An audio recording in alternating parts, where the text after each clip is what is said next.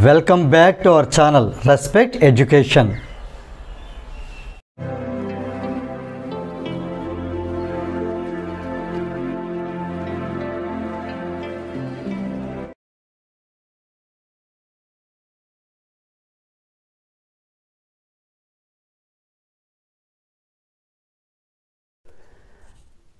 Hi everybody, today we see worksheet 7. Okay, this is of chemistry. This worksheet belongs to the chapter acids, bases and salts.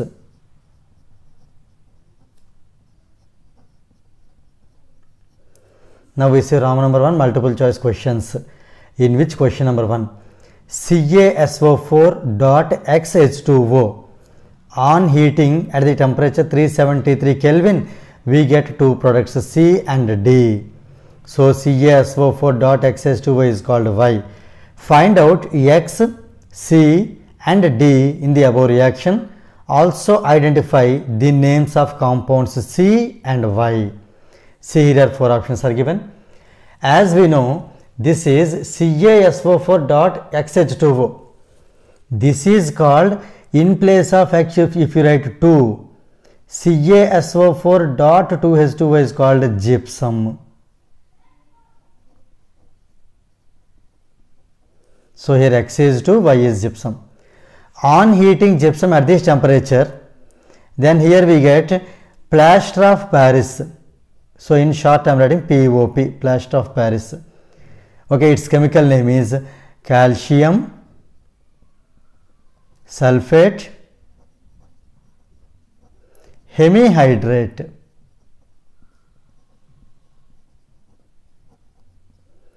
along with that here D is actually its formula is CaSO4 plus sorry of dot of H2O I repeat here the formula of plaster of Paris.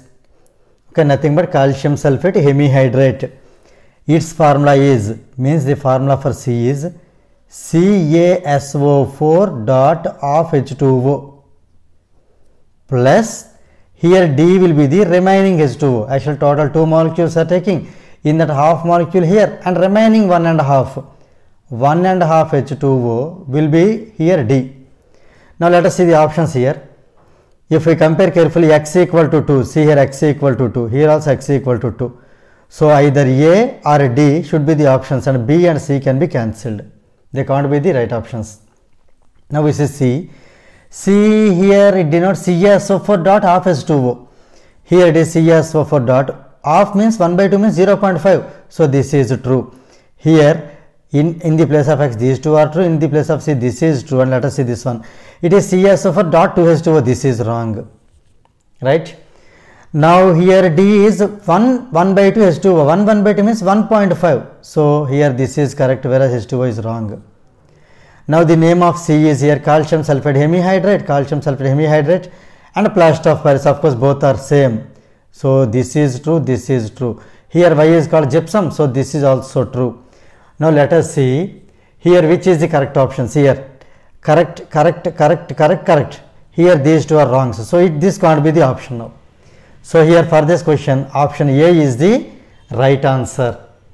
Now we see question number 2 sorry Sohail a class 10 student conducted the following tests on an unknown substance X and recorded his observations as shown in the table.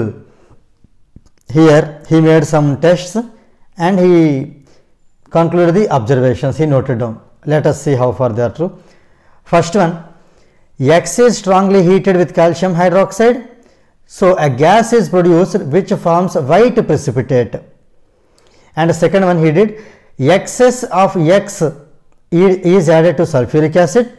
So ph of solution increases to 7 means here you see sulfuric acid actually this is the strong acid it has become somehow weak acid on adding this. So definitely here we should believe that x should be a base. This is the first clue. And third test is sodium hydroxide is added to x so a green precipitate is formed. Then here you can understand that. Here the thing may be ferrous carbonate. Ferrous carbonate. Okay that is called FeCO3 so let us keep this one in mind and let us do uh, let us check every test again. So here FeCO3 that means it is ferrous carbonate. When it is strongly heated with calcium hydroxide a gas is produced which forms white precipitate. Let us see here the equation FeCO3 when it is added to calcium hydroxide CaOH twice we get FeOH twice. Along with that here CaCO3 calcium carbonate. So isn't it white precipitation? So yes this is the white precipitate. So here FeCO3 so it is suitable for this test. And here excess of base okay excess of addition of base uh, to the sulfuric acid it made weak. That means here it should be base. Clearly FeCO3 is a base. FeCO3 is a base. So it satisfies the second test also. Now let us see third one when this FeCO3 added to sodium hydroxide a green precipitate should be produced. Let us see equation here. When you add FeCO3 to NaOH here we get Na2C by 3 sodium carbonate and then FeOH twice. Here if we balance it here 2 will come. Okay. So the color of FeOH twice is nothing but green in color. So this is green color precipitate so everywhere you see FeCO3 it satisfied all the conditions.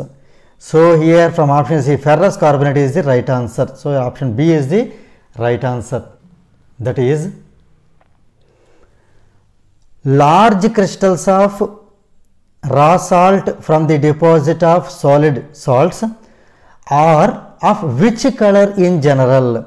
Actually raw crystals of raw salt from the deposit of solid salts these are called this, this is called rock salt. It is called rock salt. The color of rock salt is brown in color. So here option b is the right answer. Now we see question number 4 that is copper chloride is a light brown solid which slowly absorbs moisture to form a when it absorbs moisture then we get blue green dihydrate let us see the option. See blue green. So option c is the right answer. Now we see question number 5 this is brine is an aqueous solution of sodium hydroxide aqueous solution of sodium carbonate aqueous solution of high concentrated sodium chloride aqueous solution of sodium bicarbonate. It is the aqueous solution of sodium chloride in fact high concentrated sodium chloride. So here option c is the right answer. Now we see question number 6 at what temperature is gypsum heated to form plaster of paris? So it is okay direct question. It is either 100 degrees celsius or 373 kelvin. So let us see option a option b is the right answer. Now we see question number 7 a student took two test tubes containing 2 ml of dilute hydrochloric acid means hcl and added solid sodium hydrogen carbon bond to test actually it is it is not okay carbon bond. It is actually carbonate. Okay it is misprinted. So here and added solid sodium hydrogen carbonate to test tube P means to this test tube and solid sodium carbonate to test tube Q as shown below. The correct observation would be no reaction in any of the test tube. See here since sodium okay it is the highest reactive metal so this option couldn't be correct because there should be no reaction is wrong. So rapid reaction, yes, this is true. The reaction takes immediately, takes place immediately. Now slow reaction P, rapid reaction Q, this is false. Rapid reaction P, but slow reaction Q, this is also false. In both we, get, we can see the rapid reaction. So here option B is the right answer. Now we see question number 8. That is, in the electrolysis of aqueous sodium chloride, what compound is left behind. So, here we need to understand that when we do the process of electrolysis of aqueous sodium chloride, the compound left behind will be sodium hydroxide. It is sodium hydroxide. So here from options you see sodium chloride, sodium hydroxide. Option B is the right answer. Now we see question number 9. Why is calcium sulfate hemihydrate called plaster of Paris? Let us see the options. Because it is found only in Paris. Actually, it is found in Paris but not only in Paris. So, most it gets okay, we get it is abundantly available in Paris, okay, but not it is it will, will get only in Paris. So, this may not be the correct option. Because of its color, which is quite similar to that of Paris. No, okay. Paris, which color Paris has to compare it. So, this is okay, this is meaningless. And because of its large deposits in the Paris, yes, this is the correct. Actually, we have abundant gypsum.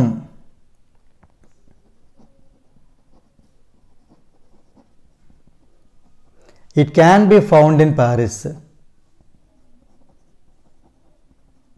Right? That means gypsum can be found abundantly, means mostly in Paris. That is one of the reasons, okay, we call it as plaster of Paris. Because if its first war base began in Paris, no, it can't be the correct option. So here option C is the right answer. Now we see question number 10 that is CaOCl2 calcium oxychloride.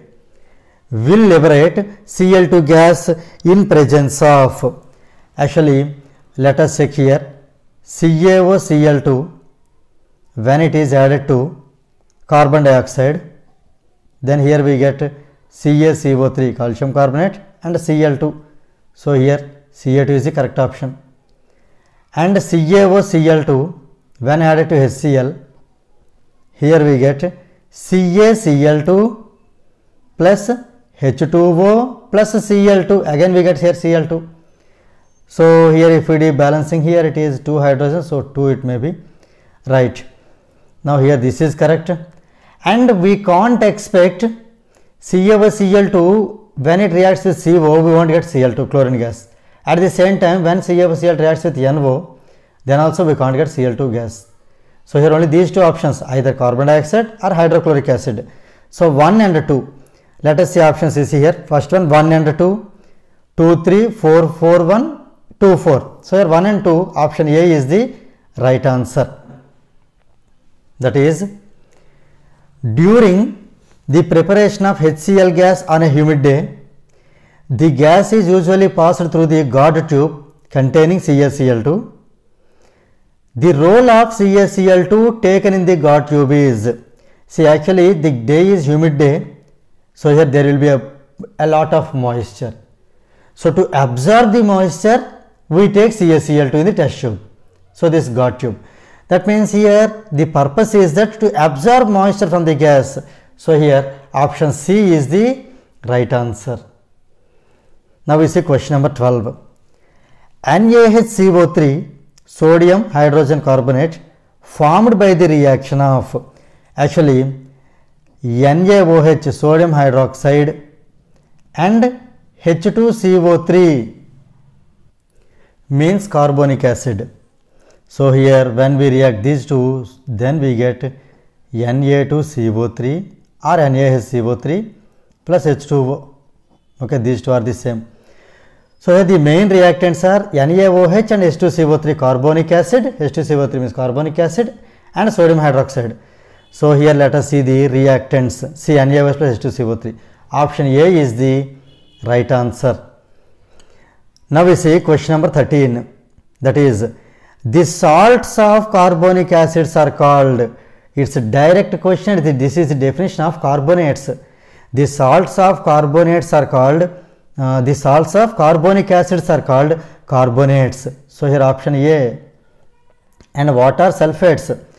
These are the salts of sulfuric acid. And what are the carbides? Carbide is a binary compound of carbon with an element of lower or comparable electronegativity. So, this is not a salt, this is a binary compound of carbon, right. And what are the nitrates? Nitrates are the salts of nitric acid. So, here the question is that carbonic acids, the salts of carbonic acids are called carbonates. So here option A is the right answer. Now we see question number 14 that is the difference of molecules of water in gypsum and POP means plaster of Paris is. See here let us write the formula of gypsum that is CaSO4 dot 2H2O. This is what called gypsum. And let us write the formula POP plaster of Paris that is CaSO4 dot of H2O. Here let us see there are two molecules here only half molecule. Let us find the difference. The difference between 2 and half is 2 2 are 4 4 minus 1 3 so 3 by 2. Let us see the options see option C is the right answer. Now we see question number 15. Bleaching powder is soluble in cold water giving a milky solution due to that means when bleaching powder is added to cold water we get a milky solution which is white in color. The reason is that let us see options here. Available chlorine? No. Lime present in it? This is correct. Calcium carbonate? No. The absorption of CO2 from the atmosphere no here option B is the right answer.